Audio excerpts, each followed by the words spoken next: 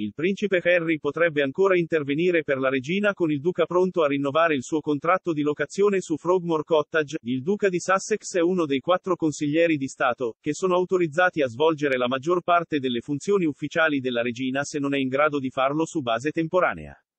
Harry, che vive in California con Meghan Markle dopo aver lasciato i doveri reali ma è ancora cittadino britannico.